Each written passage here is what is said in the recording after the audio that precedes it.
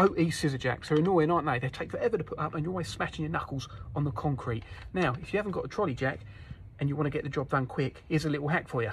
Using a cordless drill, this is how.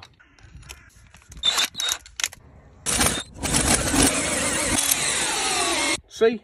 Easy peasy, eh? Give it a go.